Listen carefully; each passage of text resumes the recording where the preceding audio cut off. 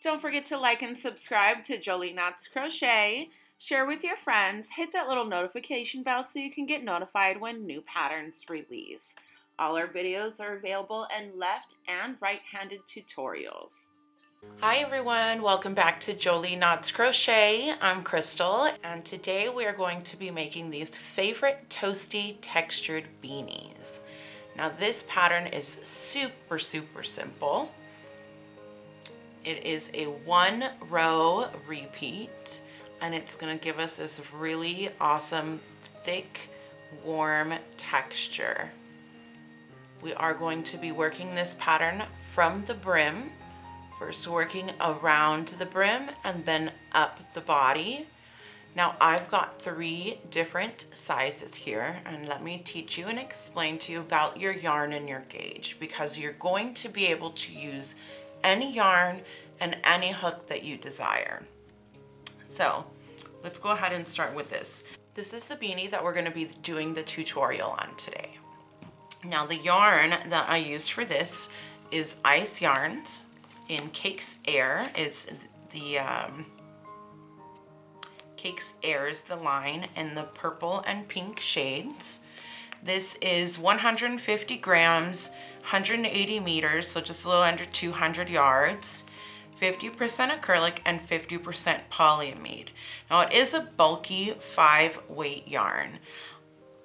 I would agree with that as far as it being a bulky five weight yarn. I put it a little bit on the thinner side, um, but we did use a six millimeter hook for the brim. And then we went up to a six and a half millimeter hook for the top. So depending on the yarn you're using, you're gonna choose the hook size that's recommended You'll fit it uh, on the circumference of your head for your brim. Now, if you're making a child size, then of course your brim is gonna be about maybe two inches tall. If you are making it for an adult size, you're gonna go to about two and a half inches, maybe even three inches on the larger side, depending on the, the style that you're going for. With this one, we did an almost three inch brim but we did extra body so it was a little bit more slouchy. On this one here, I did about two and a half inches and I made it to be fitted like a cap, but it is much, much more stretchy than the other hats. So the sizing I had to make sure was right. This one doesn't stretch a whole lot and this one stretches a whole bunch. Now I made this one for my daughter, so this is a child size. This is actually an adult size, even though it kind of looks the same, but the stretch goes way farther and I'm not stretching it out. It, that's just the way that it fits. Now moving on to the yarn that we used for this one. The way that I got the effect here was by using one mandala cake the one I used is a Mandala Sparkle. This is three and a half ounces, 328 yards, and it is a light three weight yarn. The recommended hook size for this one is five millimeter, and I started double stranded using a five and a half millimeter for the brim. So what I did was just dig right into the middle, pull out my center, grab the piece from the end, and I double stranded and worked that way. And so you have that slow changing color, but that is still double stranded and extra texture. Okay, this one is more of an extra large adult. I've got a lot of hair, so I need mine to be bigger and I like the slouch in the back for me. Now moving on to the blue one, this one I made for my husband. He's bald, he has no hair, so it should not be too big or it's gonna be too loose on him. He usually likes slouchy hats, but this one he wanted it to be more fitted like a cap. So I made it much, much shorter than I made mine that has a slouch by a couple of inches. Now the yarn that I used for this one is Ice Yarns Favorite Wool. Now this is categorized as a five weight yarn, but I completely disagree with that. I even think it's a little bit more on the lighter of a four weight yarn size. Um, this skein comes in 210 meters, so uh, maybe about 220 yard, 230 yards ish around there. It's 50% wool and 50% acrylic, and it comes in a 100 gram skein. Now this color I think was the blue shades. Doesn't have a color on here, but that's about the color I had. I'll go ahead and leave the link below for you, but it is a really warm, toasty stitch. And this, since it's 50% wool, um, this fiber is really warm and toasty also. Okay. Oh, and the size that I used for this was a five millimeter for the brim and a six millimeter for the body. So choose your yarn wisely, choose the hook size that you desire that's more of a recommended hook size for your brim and then you're gonna go up a hook size for the body. All right, now sizing our beanies. You are going to make your band in multiples of two. So your rows all the way across are gonna be in multiples of two. Now this band I made one, two, three, four, five, six, seven, eight, nine, ten. This band I made 20 inches long. And then we're gonna fold it in half and slip stitch it together. But I told you I have a bigger head and a lot of hair. And then of course it stretches a couple of inches bigger than you make it. So this one would be an extra large size. You're just gonna build your band to 20 inches if you're going for extra large. Now, keep in mind, like I said, this also has a very tall brim. If you're making it for a child size, you're gonna wanna shorten your brim. This one with a five and a half millimeter hook, I went 10 stitches. And this one with a five millimeter hook, not double stranded, I also went 10 stitches, but you can see that there's a difference in the thickness of the brim. Now this one was with the bulky yarn and a six millimeter hook and I only went six stitches and that's gonna be for a child size. So you're gonna need your yarn and your hook if you wanna put a pom-pom on it and a tapestry needle and we will get started. Okay, so to get started and choose the size of the brim that I have. I'm using a larger hook size, a six millimeter. And this one was a pretty wide brim with the five and a half millimeter. I'm gonna be making this one for my daughter today and it's going to be shorter. So I want it to be a little bit closer to two inches rather than the whole three. So I'm gonna chain six and check the size of my brim.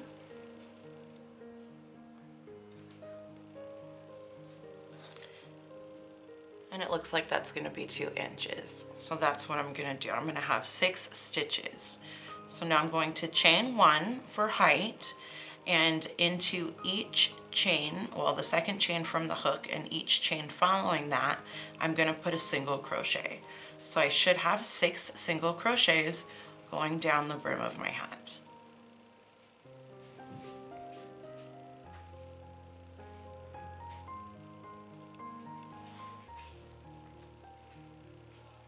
Now I'm going to chain one, turn my work, and single crochet into the back of every single crochet, just the back loop only.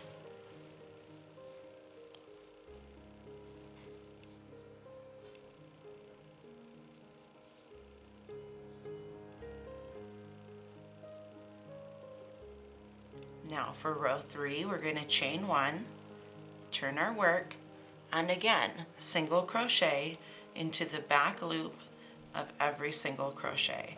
So in every row I should be single crocheting into the back loop and I should still have six stitches across. Now if you're making a larger size then you'll probably have more than six stitches. Now keep repeating row two until you get to the head circumference of the size that you're making. Okay, I've just completed my band. I have made this band 17 inches wide. Now this one is not as stretchy as this one. So you're gonna wanna also make sure the stretch that yours has because you don't want it to be too tight and you don't want it to be too loose. So now we're gonna chain one and fold our work in half. And we're gonna slip stitch these together in the same manner that it, we would be working, just across in the back loop only. So we're gonna go through the first side, back loop only, and then we're gonna find the first chain on the other side. And we're gonna pull through all three loops. Now we're gonna do the same thing into the back loop of the next stitch, through the next chain on the other side, and pull through all three stitches. Through the back loop, through the chain on the other side, and pull through all three loops. And continue that all the way down, ending out with six slip stitches. I have six because I have six stitches across. You should have the same amount of the stitches that you have across. Now we're gonna fold our brim, flip it inside out really, because now we want that to be the inside of it. Okay, and I'm gonna try to work over my tails here. So I'm gonna chain one, and this is not technically a row, this is our chain space. We're gonna want an odd number of stitches going all the way around our brim. Now because I have an even number of rows, I'm gonna need to increase one stitch. So I'm gonna increase my one stitch here where the chain space is and I'm gonna put a half double crochet.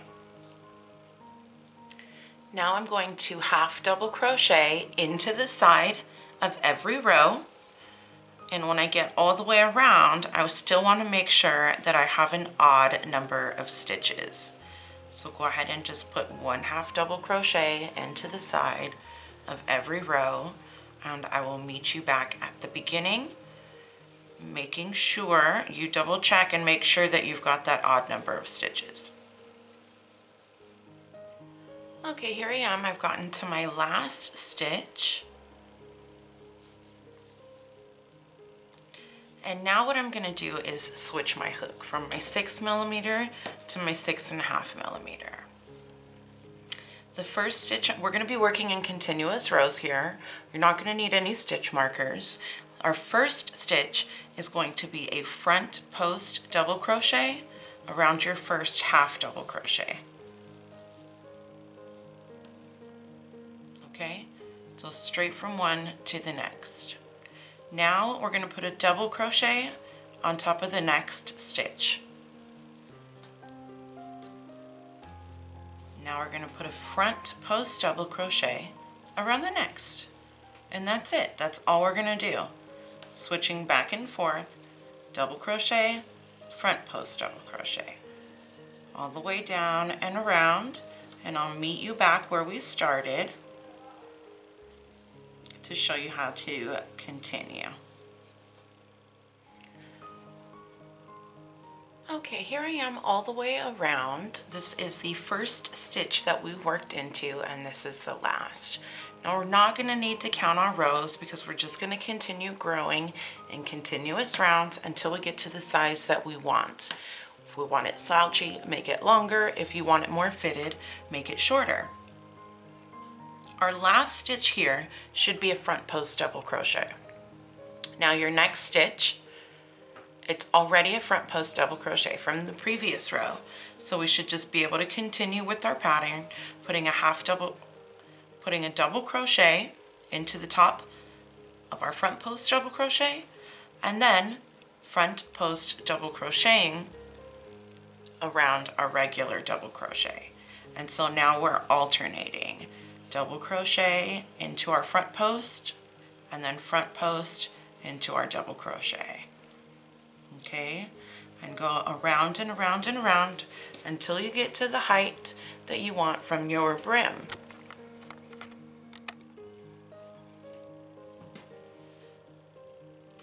This one is a lot taller than this one this one is slouchier and this one is more fitted. So this one is going to be one, two, three, four, five, about six inches tall. And this one was one, two, three, four, five, six, about seven inches tall.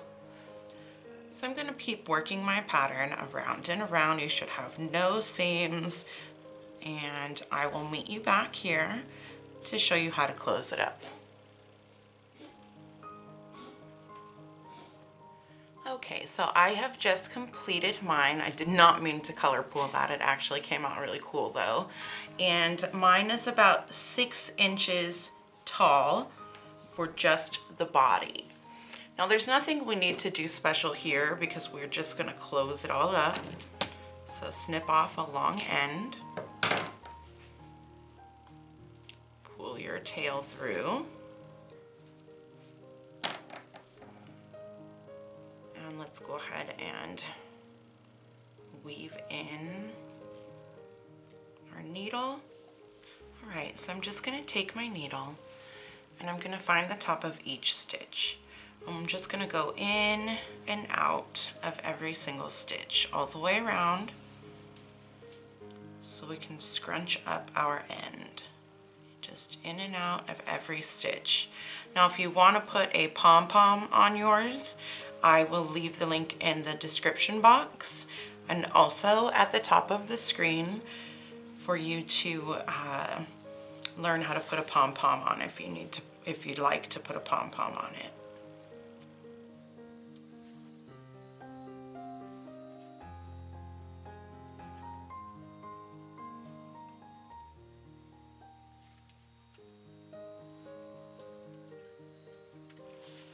Okay. Now I'm going to pull it all together, scrunch it all nice and tight. And from there, this is bulky yarn, so it's really, we're going to need to weave it in and out from one side to the next And keep working our way across back and forth to help us close out that top. Just through one side, straight across to the next.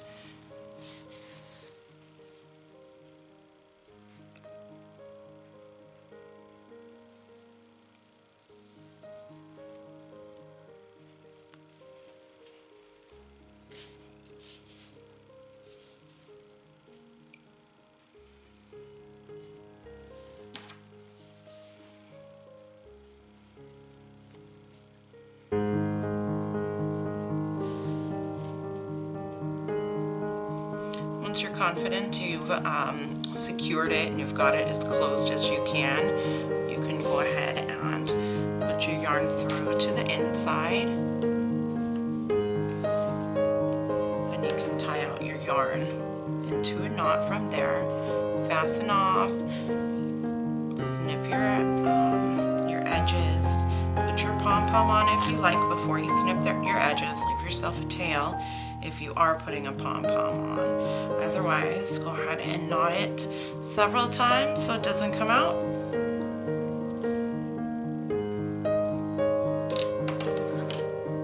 Snip off your end. And there we've got it.